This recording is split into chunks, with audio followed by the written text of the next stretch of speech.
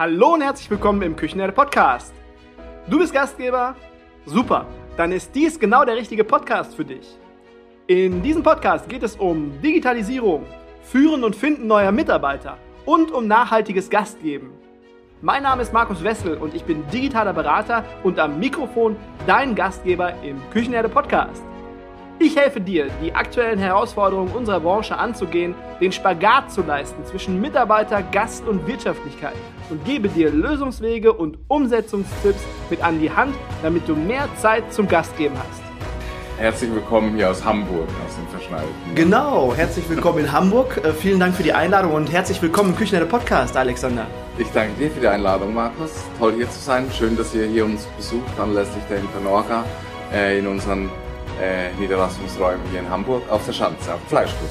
Ja, danke schön. Also, ähm, wir starten direkt mal rein in die Folge. Also, heute hier Instagram Live, Küchenherde Live Podcast und äh, das erste Mal in Hamburg und wir haben eine traumhafte Kulisse draußen. Ihr könnt es jetzt nicht sehen, aber ich schieße euch gleich mal ein Foto.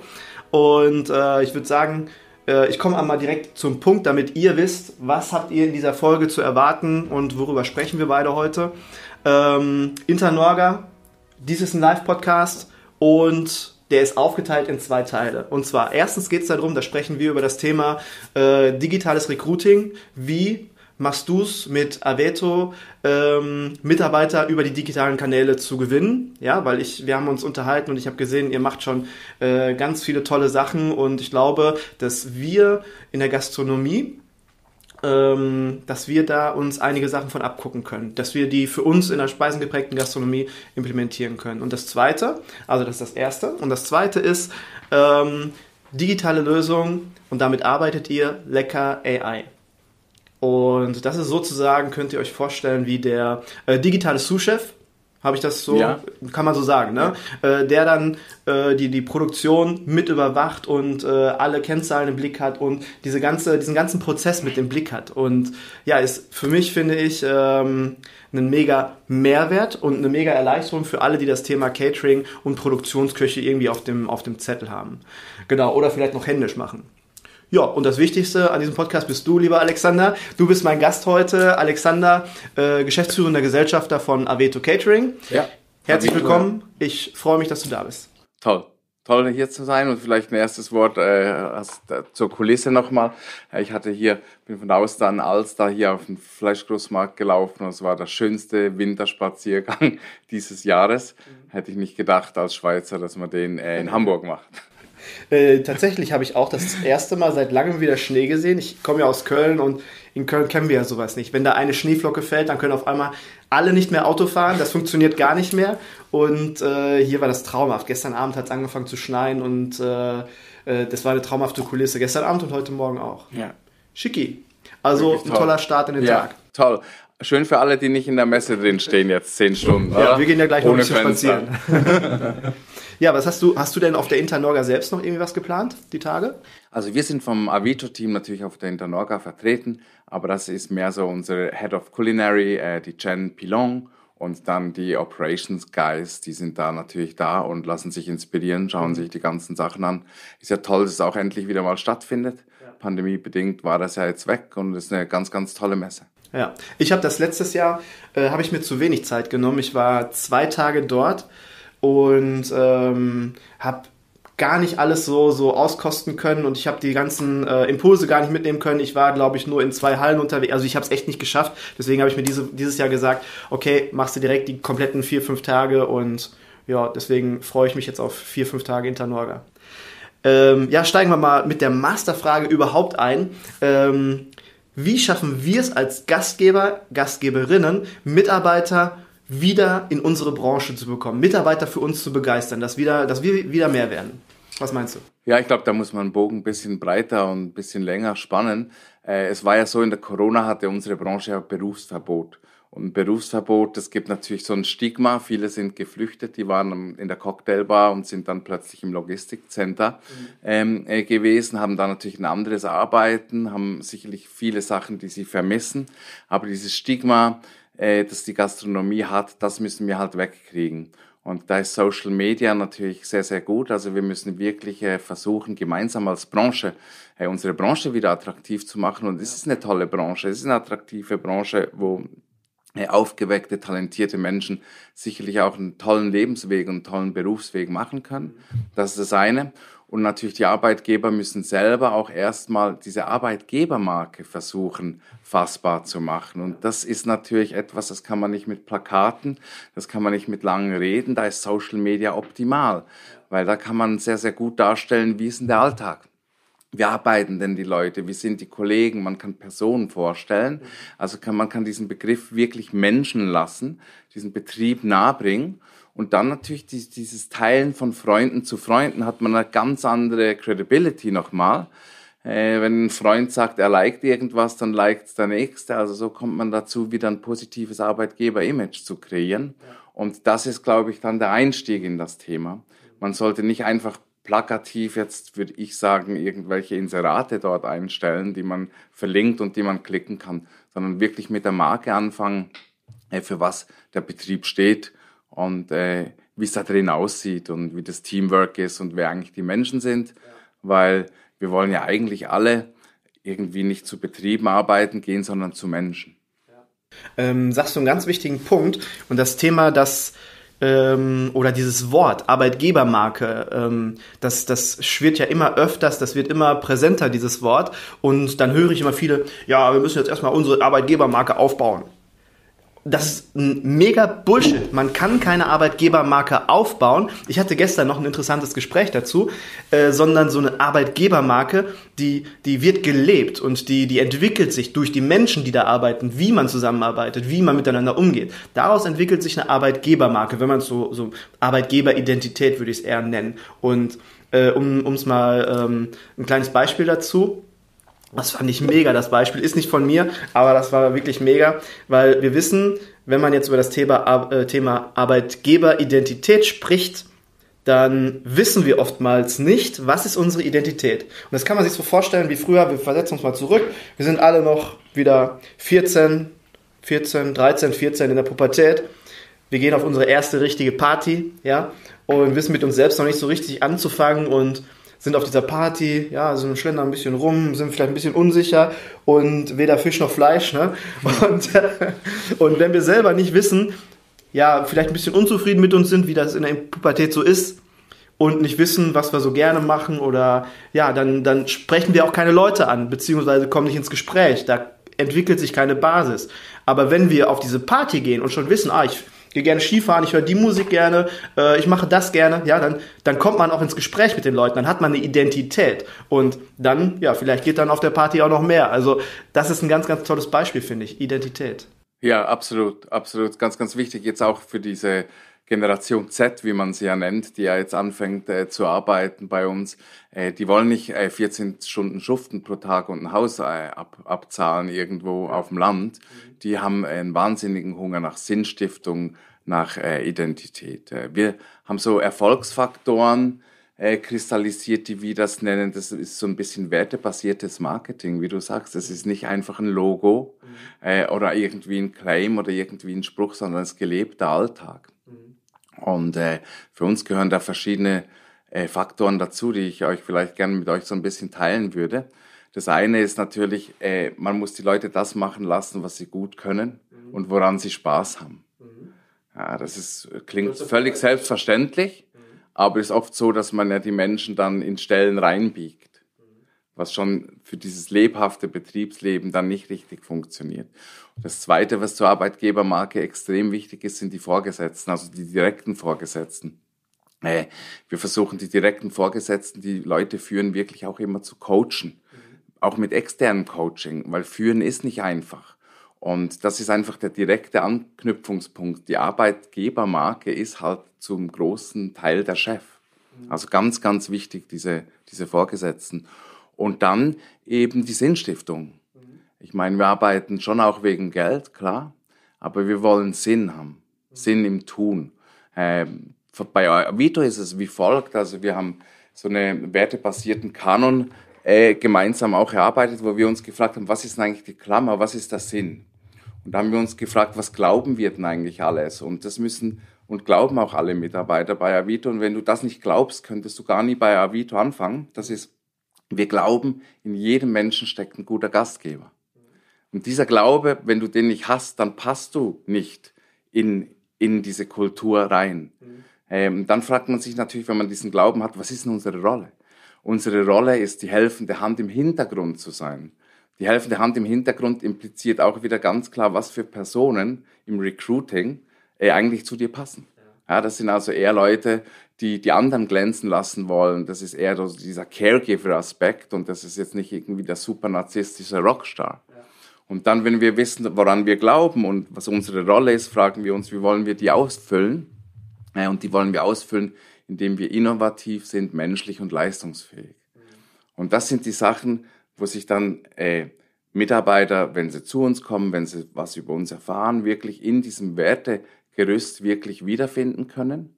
Und das macht sehr, sehr viel in Bezug auf Arbeitgebermarke aus. Äh, es gibt weitere Sachen, dann irgendwie ein Stück weit vielleicht nachgelagert.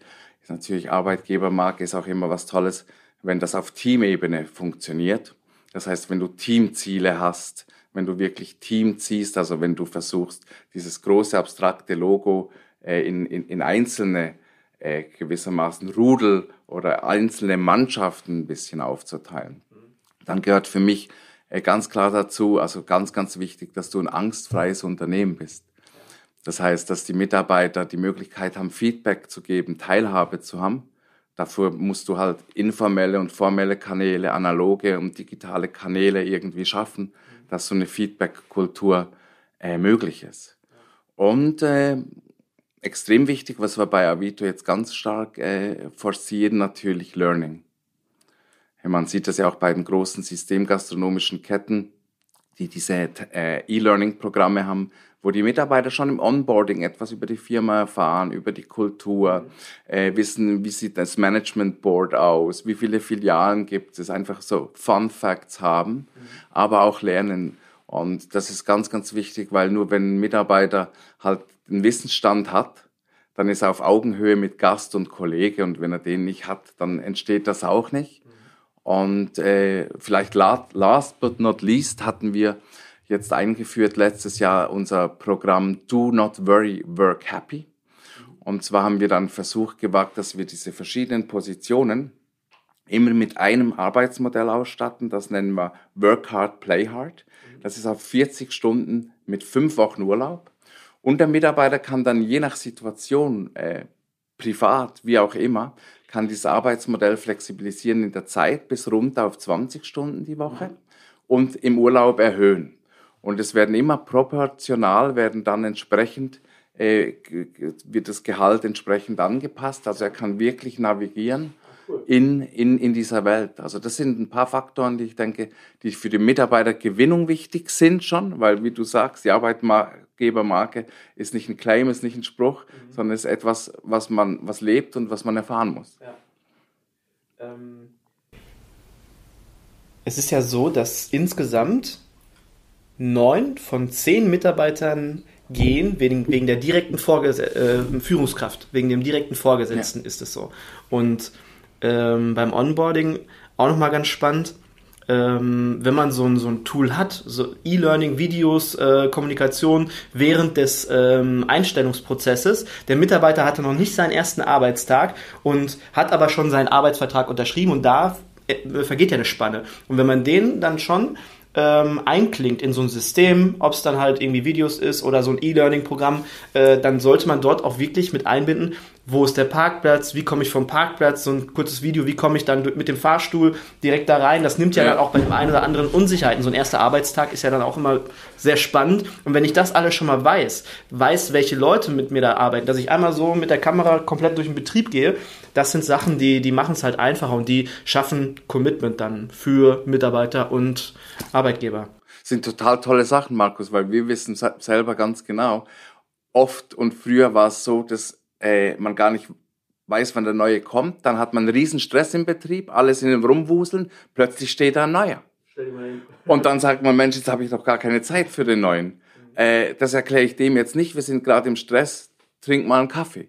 Und äh, unter Umständen ist der neue, man hat ja nur einen ersten Tag in jedem Betrieb, war dieser erste Tag halt echt richtig schlecht. Ja, und ähm, erstens was denkt dieser Mensch, dieser Mensch, der uns dann mit unterstützen soll, der auch für sich da irgendwo seine Zukunft sieht, was denkt der zum einen? Und vorher, das ist das Irrsinnige daran, habe ich so viel Arbeit in diesen Prozess gesteckt, äh, Posts gemacht, Reels gemacht, Stellenanzeigen geschaltet, äh, vielleicht noch Ads geschaltet, damit dieser Mitarbeiter zu mir kommt ähm, Bewerbungsgespräch eins, vielleicht zwei, Videocall, Job, ähm, äh, hier so, so ein Probearbeiten, Hospitation vielleicht noch. Also viel Energie vorher und dann checke ich nicht, wann der kommt. Das ist eine Katastrophe. Nee. Überhaupt.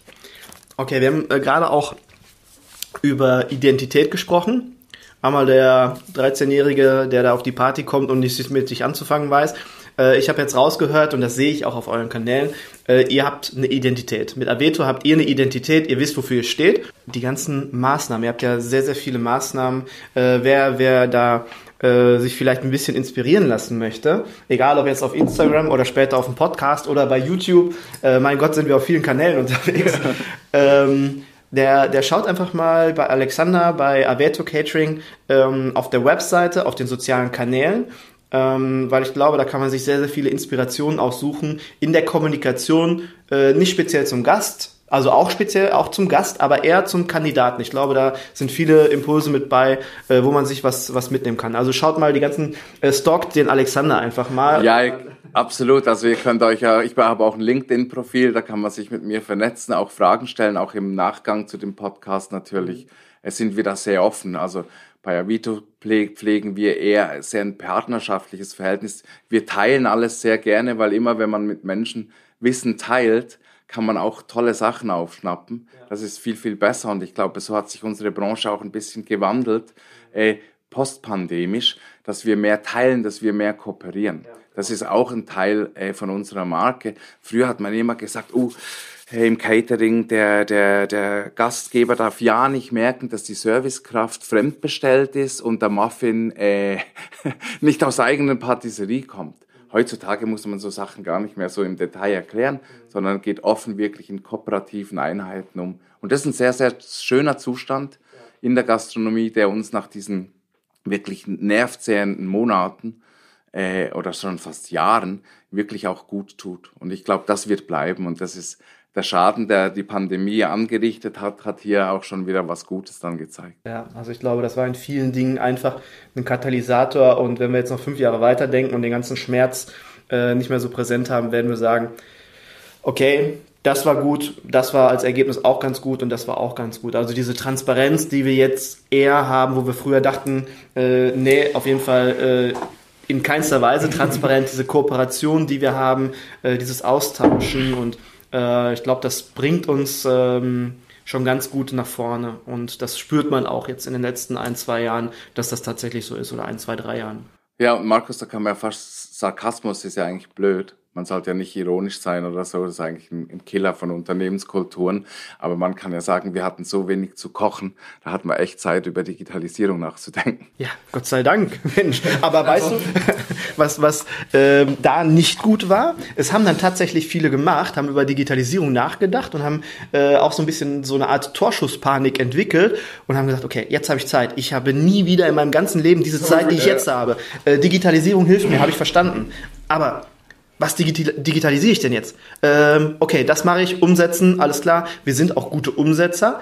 Aber dann haben wir, und das habe ich von vielen Kunden wiedergespiegelt gekriegt, die äh, erst später zu mir gekommen sind, haben das Falsche digitalisiert. Und dann, ja, äh, kam natürlich der Frust, oh, das ist viel zu teuer oder das kann viel zu wenig, das kann viel zu viel, das brauche ich alles gar nicht einfach nicht das Richtige ausgesucht, das Falsche umgesetzt und dann entsteht Frust und dann oft gehört, ah, bleib mir weg mit dem Digitalisierung, brauche ich nicht, ist nur Käse. Also ja. das war auch nicht so clever manchmal. Ja, kann ich nachvollziehen. Ich meine, es gab ja diese, diese Fördertöpfe dann auch und diese Superprämien und dann musste man die ausgeben und dann hat man sich äh, oft dann vielleicht äh, nicht so eine ganzheitliche Lösung gesucht oder eine, die nicht richtig passt. Und äh, Digitalisierung ist ja auch nicht einfach Stecker rein und dann äh, ist die Welt eine andere. Digitalisierung ist ja auch sehr mühsam, mhm. weil man sie ja wirklich dann auch äh, im operativen Prozess abbilden muss. Und äh, entweder ist man 100% digital irgendwie, mhm. dann funktioniert das hintenrum, so ein bisschen digital geht nicht so richtig, so wie ein bisschen schwanger geht auch nicht. Wenn man das alles nur halb pflegt, Rezepte, Kundendaten etc., dann kommt da auch nichts Gescheites raus. Ähm, eine Frage noch zum, zum, ähm, zur Mitarbeitergewinnung. Weil oft ist es ja so, wenn man jetzt äh, diese ganze Kommunikation, Identität auf den digitalen Kanälen nach außen spielt, bei euch die Karrierepage ist auch mega. Also auch wer noch keine Karrierepage hat und darüber nachdenkt, ähm, sowas sich, sich anzulegen, aufzubauen, dann schaut auch mal, weil das ist auch mit wenigen Klicks kriege ich da, komme ich da bis zur, zur Bewerbung. Also ist auch niederschwellig. Ähm, aber jetzt, jetzt ähm, äh, verhaspel ich mich so ein bisschen. Ich wollte eigentlich in die Richtung, wenn man das jetzt alles schon richtig macht und gut macht, wie macht ihr das dann, wenn ihr fünf Kandidaten habt, wo ihr sagt, okay, äh, schauen wir uns mal genauer an, wie wählt ihr dann Mr. oder Mrs. Right aus, dass der, dass ihr wisst, passt genau hier hin? Ja, du hast ein tolles äh, Stichwort gesagt. Diese Niederschwelligkeit führt natürlich dazu, dass du auch ganz viele Jux-Bewerbungen hast. Mhm. Weil wenn ich einfach nur klicken muss, äh, da, da, da klickt man halt mal schnell auf dem Sofa beim Chips essen und äh, Krimi gucken, aber die geht man dann an und die melden sich gar nicht mehr. Also da hat man wirklich auch, je niederschwelliger das ist, desto weniger seriös ist natürlich äh, der Bewerbungspool. Wie machen wir es dann? Das ist natürlich unterschiedlich. Äh, wenn du jetzt äh, dich bewirbst auf Vertriebsstellen oder auf Office-Stellen, funktioniert es eigentlich so, dass man dann anschließend mal als erstes, das ist auch Post-Corona super, keiner muss irgendwo hingehen, man macht einen Teams-Call. Und in diesem Teams Call kann man den schon mal kennenlernen. Das machen wir so 15, 20 Minuten Kennenlerngespräch. Und wenn dann beide eigentlich sagen, ja, das geht in die richtige Richtung, dann macht man gewissermaßen erst ein Gespräch in der Firma selber, wo man die Firma auch ein bisschen zeigt, die Firma ein bisschen erklärt. Wenn das dann gut funktioniert, macht man eigentlich in diesen Sales-Jobs und in Office-Jobs meistens, machen wir das ein Assessment Center. Das ist uns mega wichtig, dass man, das klingt jetzt auch äh, gehobener als es ist, man tut einfach aus dem Alltag drei, vier Fragestellungen Kandidaten stellen erarbeitet die. Es gibt jetzt nicht ein richtig oder falsch, ja, das machen wir dann meistens fort. Und dann tut man die Lösungen so ein bisschen besprechen, um zu gucken, ob man gemeinsam äh, irgendwie zusammenarbeiten kann und weiterkommt. Und das gibt dem Kandidaten auch nochmal ein gutes Gefühl, wo sie ihn eigentlich sieht und wie dort das Team ist. Äh, Im Küchenbereich haben wir natürlich auch viele Stellen besetzt, die jetzt nicht Fachkräfte sind, also die helfende Hände sind, äh, motivierte Küchenhilfen und so weiter. Die haben diese technischen Möglichkeiten oft nicht. Also da macht man eigentlich meistens Klassik wie früher Schnuppertag. Mhm, ihr habt ja 2017 habt ihr ähm, die Auszeichnung Caterer des Jahres gewonnen. Und was hat sich so in der Zeit, das sind jetzt äh, sechs Jahre, knapp sechs Jahre, was hat sich in der Zeit alles so verändert? Was, äh, wie war so der Weg bis heute? Ja, to, to make a, uh, wie sagt man, long story short.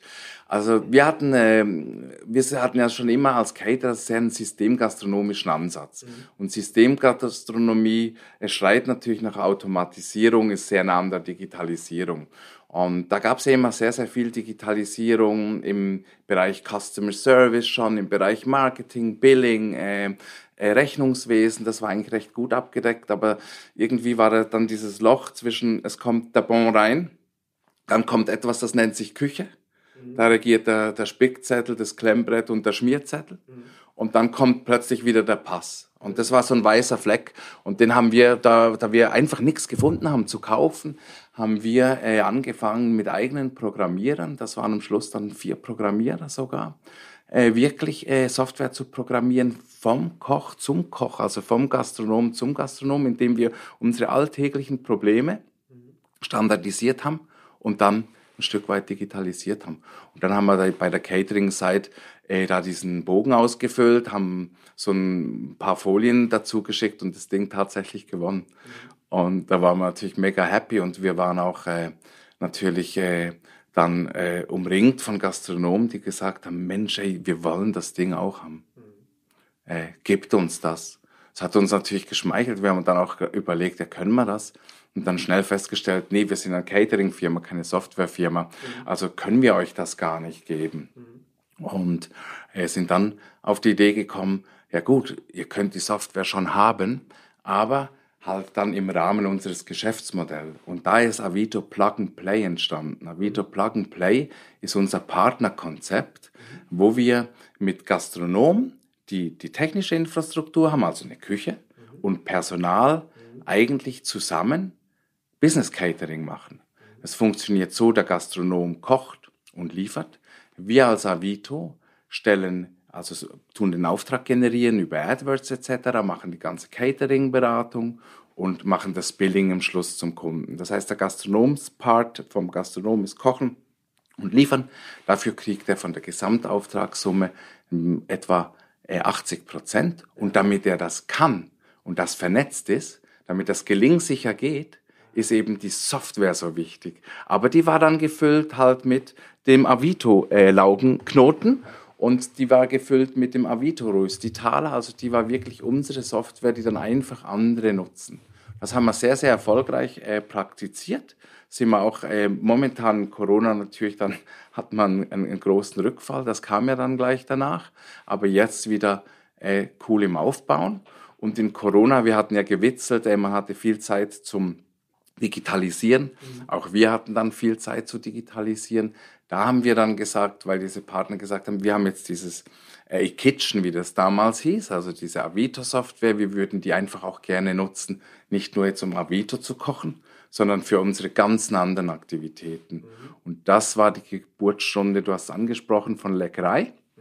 Mhm. Äh, und Leckerei war dann äh, die Programmierung, dass diese Software also Service gewissermaßen auch für Dritte nutzbar ist, die sie mit ihren eigenen Rezepten bespielen, die ja. sie mit ihren ganz eigenen Prozessen Völlig losgelöst von dem Avito-Konzept. Genau. Vorher war es ganz streng, es gibt die und die Posten, da sind die und die Rezepte drin und das haben wir gemacht und der, der Benefit da ist, du kannst ganz, ganz einfach ein paar Rezepte in dieses System reinspielen mhm. und als ersten Benefit hast du schon gewissermaßen, dass alle Produkte dann online verkaufbar sind. Ja. Also es ist ein Online-Shop mit dabei, so ein E-Commerce-Tool und ein Logistik-Tool. Das heißt, du wirst wirklich, äh, abgesehen von dem, dass du deinen Küchenalltag äh, äh, besser strukturieren, besser managen kannst, kannst du auch online verkaufen. Mhm.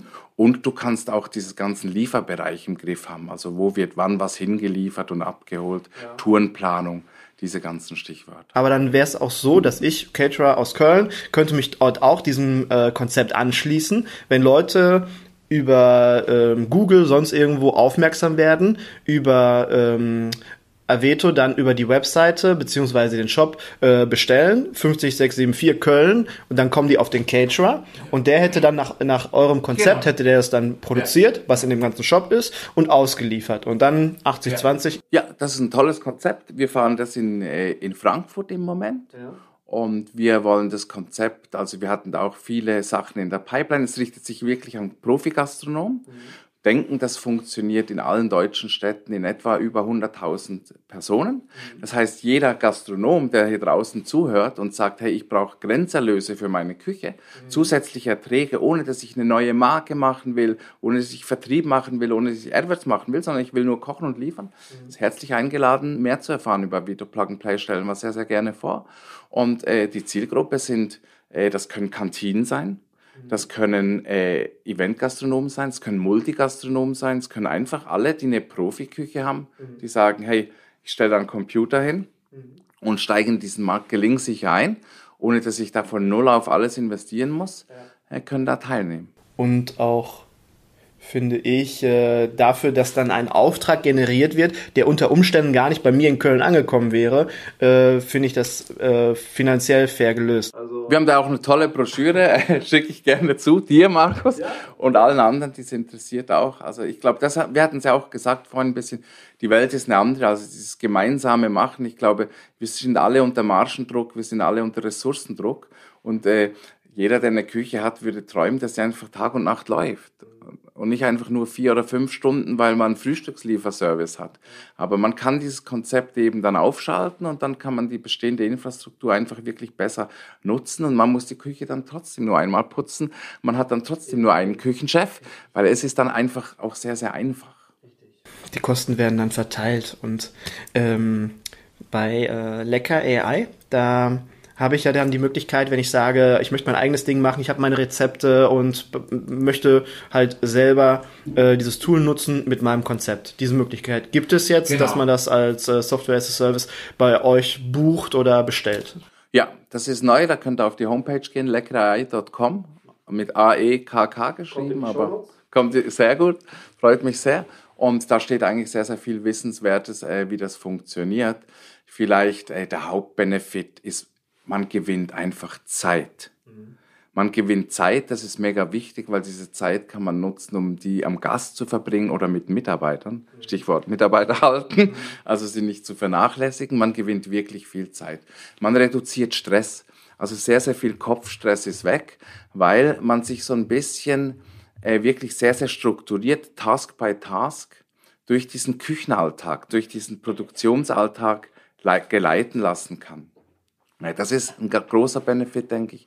Und das Zweite, was äh, eine tolle Sache ist, wir bei Avito äh, sehen das als, als, als, als wundervolle Sache, ist, dass äh, Thema Inklusion, Thema äh, Leute aus den Arbeitsmärkten, die vielleicht nicht so viel äh, Wissen haben, die keine Fachkräfte sind, damit sehr, sehr schnell als helfende Hände nicht zu einem Fachkraft werden, aber mit der auf Augenhöhe arbeiten können. Also die, die wirklich schnell ins Doing kommen, weil man äh, sich die Sachen halt von einem Tablet erklären lassen kann. Das ist bebildert, da hat's Rezepte. Mhm. Ist etwas anderes als ein Küchenchef sagt mir, mach mal schnell eine Tomatensuppe oder, also, du weißt ja, wie das ist. Und das schreit dich keiner an. Vielleicht auch was Gutes.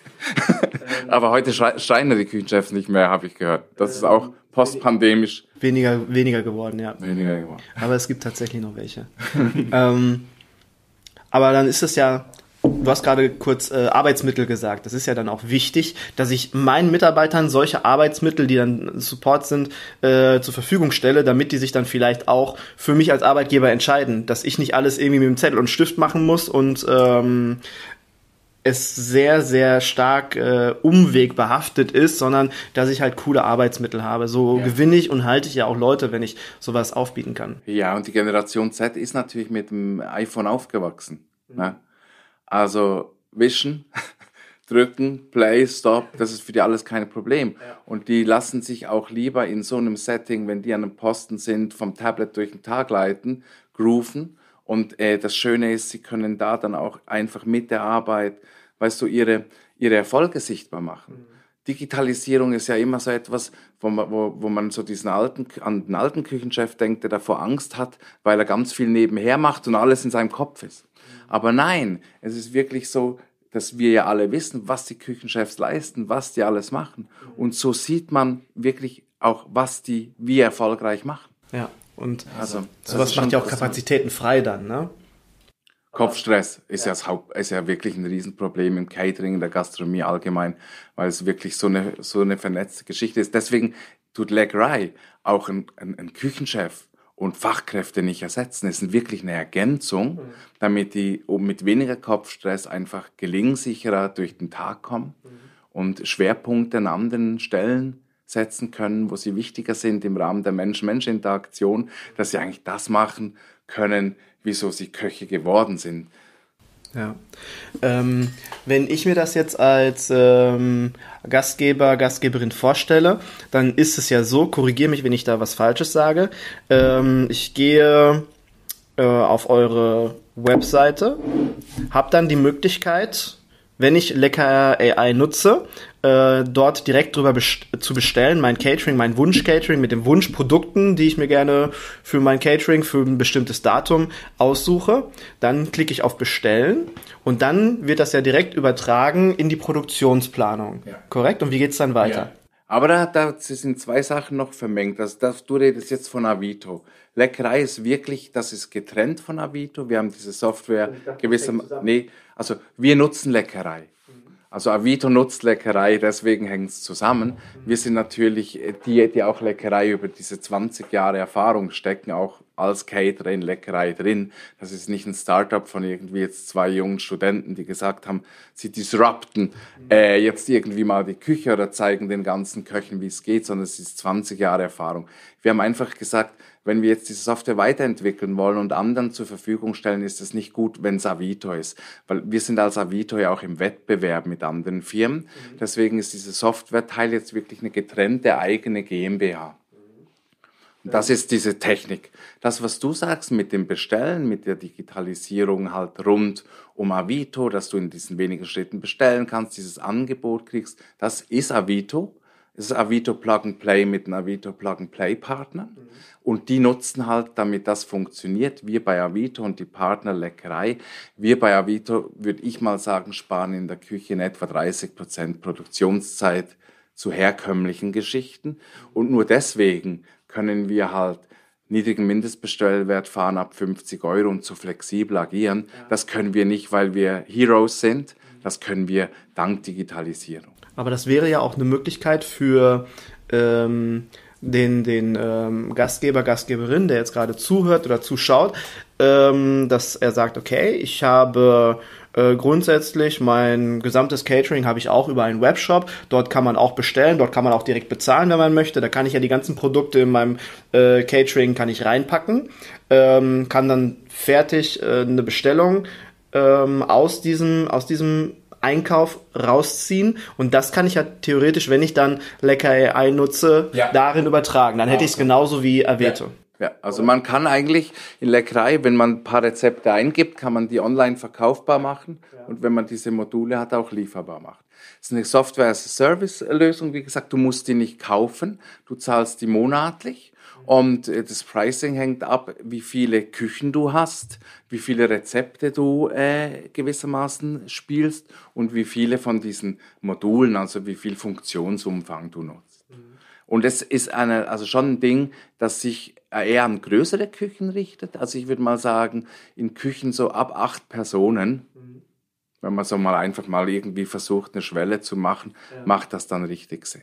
Okay, aber ich, ich sehe da das Anwendungsgebiet, also wirklich ähm, einmal natürlich beim, beim ähm, Caterer an sich, aber auch bei äh, Gastronomie, die halt sehr viele Caterings anbieten, weil ich finde dieses ja. äh, Logistiktool äh, einen absoluten Mehrwert. Wenn ich an einem Abend irgendwie fünf, sechs, sieben verschiedene Sachen rausschicken muss, äh, dann wird's dann ja auch schon mal schwierig, dann äh, passiert unterwegs irgendwas, weil du hast ja dann da auch diesen Tracker mit bei, dass du siehst, wo sind die Leute, wann kommen die wieder, verzögert sich da was, also du hast ja da wie bei äh, Lieferando quasi, siehst du genau, wo was wann wie passiert. Vergiss die Abholung nicht, weißt du? Genau. Wenn der Kunde anruft, äh, hier steht noch ein Suppenkessel ah ja, da war doch was. Ja, ja, das hat viele äh, Helfer dabei. Ja, für das ist das auch einsetzbar. Ja. ja.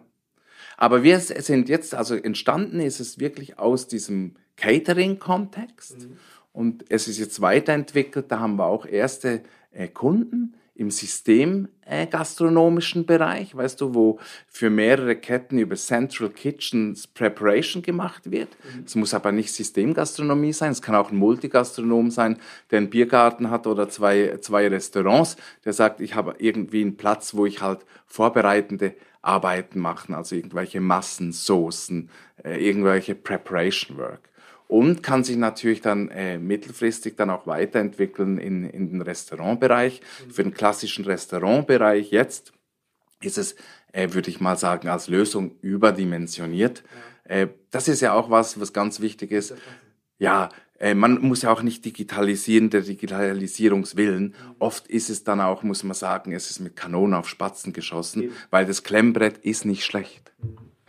Das ist ein guter Spruch. Ich denke, so werden wir die Podcast-Folge nennen. Äh, das ist ja tatsächlich so. Also Digitalisieren des Digitalisierungswillen, das ist, muss nicht immer unbedingt sein, wenn der Prozess vielleicht auch analog abbildbar ist und es nicht wehtut. Ne? Ja. Ähm, wenn ich jetzt äh, Lecker AI nutze, vollumfänglich, ähm, du hattest gerade gesagt, wenn ich es richtig verstanden habe, dann spart man sich grundsätzlich so bis zu 30 Prozent Arbeitszeit ein durch Lecker AI, wenn ich das, alles vollumfänglich das hängt natürlich vom Setting ab. Das ist jetzt bei der Avito der Fall. Das hängt natürlich davon ab, äh, wenn du jetzt irgendwie eine super Sterne-Gastronomie bist, wo du eh sechs Chefköche an jedem Posten hast, dann wahrscheinlich nicht. Aber wenn du so ein bisschen systemisch denkst und wenn du ein Setting hast, wo du wirklich auch sehr, sehr stark äh, auf Hilfskräfte bauen kannst, mhm. dann ist das bei uns jetzt so der Fall. Kannst du sagen, was ähm, Lecker AI kostet, wenn ich das nutzen möchte, vollumfänglich? Ja, also äh, wie gesagt, es hängt ab, wie viele Rezepte, es hängt ab, wie viele Küchen und es hängt ab, wie viele Module, aber du bist unter 1000 Euro pro Monat dabei. Okay. Aber es ist jetzt nicht eine Software, die 19 Euro pro Monat kostet, aber unter 1000 Euro. Äh, aber man muss ja immer sehen, ähm, ich habe äh, mal mit einem Kollegen ähm, auch über Lecker AI gesprochen und ähm, da kam so, ja nee, das ist mir zu teuer Und dann habe ich gesagt, ja, hast du dir denn schon mal ausgerechnet, was da an Output rauskommt? Weißt du denn, was du alles einsparst? Ja, nee, habe ich nicht, aber hier, jeder hat ja irgendwie so eine Preisschwelle ja. und da hat er einfach von seiner Preisschwelle aus gesagt, nee, ist mir zu teuer, aber hat sich nie überlegt, was im Endeffekt an Ergebnis dabei rauskommt und das finde ich muss man immer machen, wenn man einmal weiß, was Input ist, dann auch mal gucken, was ist Output und dann kann ich erst sagen, ist das Ergebnis stimmig oder nicht und wenn ich mir 30, lass es 20 oder 15 Prozent sein, Arbeitszeit sparen kann in meiner Küche, ja. Dann rechnet sich das ja. wohl dicke. Ja, ja das, das muss man auch wirklich. Äh, wir haben da auch viele White Papers gemacht für die verschiedenen äh, Personen. Die kann man auch gerne zuschicken und runterladen, wo man das so ein bisschen aufdröselt, wo denn da die Einsparungen liegen. Mhm. Also die Einsparung liegt insbesondere, du sparst Zeit. Und Zeit sind Arbeitskosten. A sind es Kosten und B sind es ja oft Menschen, die du gar nicht hast in der Qualifikation. Und da kann man sich ja schnell rechnen, wenn man dann irgendwie anstelle von vier Köchen, die es nicht gibt, äh, vier Küchenhilfen hat und äh, ein Sous-Chef und zwei Tablets und nicht drei Sous-Chefs, da kommen die Tausender klackern da nur so zusammen eigentlich, ja. Aber man muss wirklich, man muss, man ist erstmal erschrocken. Also wir haben es auch, wo wir Software kaufen, sehr, sehr stark im Bereich der Catering-Beratung, im Bereich vom Marketing. Da kommen auch Riesenbeträge zusammen. Aber am Schluss, wenn man dann sagt, okay, das kostet pro Person halt pro Tag 10 Euro, geht's dann wieder. Und wenn du es dann auf die Personalkosten und den Speed siehst, geht's dann wieder. Es relativiert. Ja, es ist, also ich, ich äh, stelle das ja auch sehr häufig fest, weil ich ähm, werde dann äh, beauftragt, Auftrag und dann ähm, mache ich eine Empfehlung und dann, äh, ja, wie viel kostet das denn? Dann kostet das so und so viel. Und jeder hat irgendwie so eine äh, Preissensibilität wenn er jetzt hört, HCCP-Tool, Warenwirtschaftstool, Kassensystem und so weiter, gewisse Vorerfahrung vielleicht auch, mhm. aber diese Preissensibilität äh, oder dieses Preisbewusstsein, was solche äh, Lösungen kosten, das verändert sich jetzt gerade, aber es geht sehr langsam. Ich spreche sehr, sehr viel drüber, aber ähm, es ist halt, es kommt schon relativ ähm, öfters, ich wollte häufig sagen, nein, nicht häufig, aber öfters vor, dass dann wirklich geschaut wird, Input Output, Ergebnis und ähm, dass diese Preisschwelle, die man so im Kopf hat, dass, dass damit wird langsam gebrochen. Absolut. Also es fällt mir persönlich selber auch schwer. Es fällt in der Gastronomie eh schwer, weil wir so fokussiert sind auf diese Warenkosten. Das ist eigentlich da, wo wir denken, das Game ist. Aber das Game ist nicht nur bei den Warenkosten, das Game ist auch bei den Personalkosten. Bei Leckerei, das ist noch so ein Nebenfeatures, du tust die Tasks, also es ist ja so ein bisschen, ähm, mal so ein bisschen Buzzword äh, zu nutzen. Ein Nutzer hat mal gesagt, das ist für ihn der Thermomix für die Großküche. Mhm. Weil es wieder Thermomix ist, wo irgendwie jemand, der sich nicht so richtig auskennt wie ich mit dem Kochen eigentlich, mhm. äh, halt gelegentlich ein tolles äh, Menü zaubern könnte, das, wenn er sich nicht an die Schritte halten würde, ähm, wirklich definitiv nicht machen könnte. Und beim Leckerei-Tablet tust du dich immer für die Tasks, also du beginnst diese Aufgaben, die du machst und beendest die Aufgaben. Das heißt, der Küchenchef oder der Eigentümer hat dann immer das Controlling, wie ist denn eigentlich der Stand der erledigten Aufgaben, welche sind in Verzug, welche sind noch nicht in Verzug. Du kannst Aufgaben aber dann auch nicht vorher starten, gewissermaßen, wenn du die definierst, dass es noch nicht gemacht werden soll. Und der Vorteil von dem ist, es notiert die Zeit auf die Produkte. Und du kriegst erstmal, zum ersten Mal als Gastronom wirklich produktbezogen Zeitdaten in Bezug, was kostet mich das Zeit, ein Wrap zu machen. Über die große Masse. Und dann merkst du plötzlich, hey, eigentlich, dass dieses Produkt mit einem geilen, niedrigen Wareneinsatz, das dein Topseller ist, ein Verlustbringer ist, weil er einfach zu kompliziert ist zu machen. Und dann kannst du sagen, gut, dann machen wir es halt ohne Tomaten und ohne Gurke. Und schon wird es ein besseres Produkt. Und das ist auch eine ein, ein ganz tolle Geschichte über dieses, das nennt sich ja neudeutsch Data-Driven äh, Decisions, also datenbezogene Des, äh, Entscheidefällen. Das verbessert das wahnsinnig, weil die Küche halt sonst irgendwie eine Blackbox ist, wo man sagt, alle sind eh schon da oder es waren jetzt insgesamt 32 Stunden. Aber ob die 32 Stunden für den Abwasch gebraucht wurden, für das komplizierte Söschen oder was auch immer, das weiß eigentlich keiner so ja. genau. Ja, das ist tatsächlich so. Und äh, bei vielen muss man auch tatsächlich sagen, also umso größer der Betrieb wird, ähm, ist es dann tatsächlich so, die kennen sich dann, was in der Küche passiert, meistens nicht mehr so richtig aus. Also äh, ist wahrscheinlich nicht bei allen so und viele gehen noch, noch selber mit in die Küche oder stehen noch als Küchenchef mit in der Küche, klar, aber einige auch nicht mehr. Das heißt, wenn dann in der Küche erzählt wird, ja, ja, das ist so und so und so lange brauchen ja, wir, ja, ja. dann ist das einfach so und ich kann es nicht kontrollieren. Äh, vielleicht trauen sich auch manche gar nicht da rein, um dort sich keine Blöße geben zu lassen oder keine Ahnung. Aber so entwickelt man dann Benchmark. Also man hat dann die Zeit pro Rap. Also einmal um zu bewerten, rentiert sich dieses Produkt, aber auch später um zu bewerten, habe ich dort jetzt einen Mitarbeiter, äh, der relativ fit unterwegs ist, ist der super schnell, super langsam. Also ich möchte, jeder hat sein eigenes Tempo,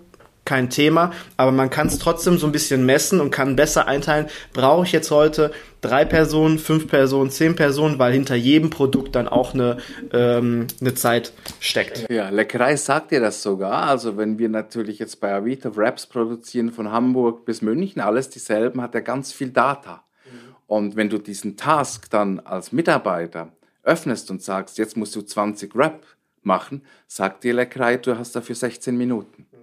Und die Menschen, die Hilfskräfte, die, die das machen, die Küchenhilfen, die Köche, die versuchen dann auch spielerisch Generation Z diesen, diese Zeit einzuhalten und sie zu schlagen.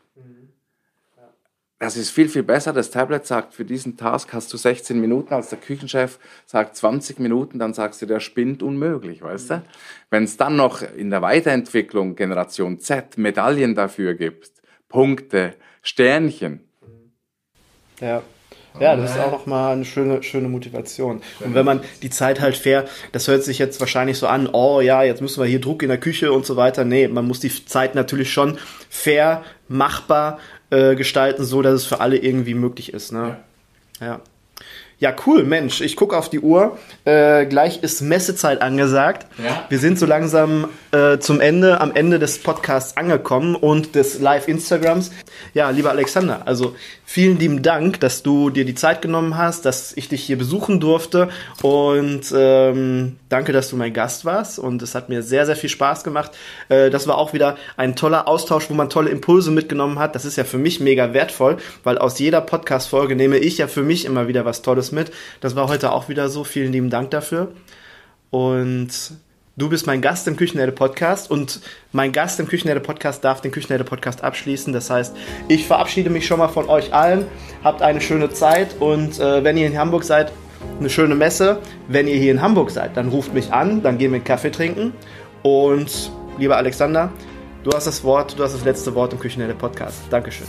Ja, wir haben jetzt viel über, über Essen geredet. Also dir auch danke für die Einladung, Markus. War wirklich viel, viel Spaß gemacht. Wir haben viel über Essen geredet und äh, Digitalisierung.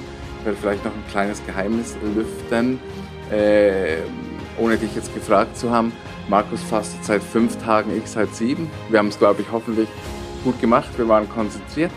Und äh, ja, als Schlusswort vielleicht, äh, das ist so ein bisschen auch unser Motto bei Avito, You never cook alone, angelehnt an das berühmte Lied. Also wenn sich äh, da draußen Gastronomen, Profi-Gastronomen für Avito Plug and Play interessieren oder für Leckerei interessieren, sehr, sehr gerne auf mich zukommen, auf Markus zukommen, leitest du sicher auch gerne weiter an mich, äh, dass man einfach mal drüber diskutiert, wie, wie es weitergehen kann. Und ich glaube, ja, wir haben gute Zeiten vor uns in der Branche.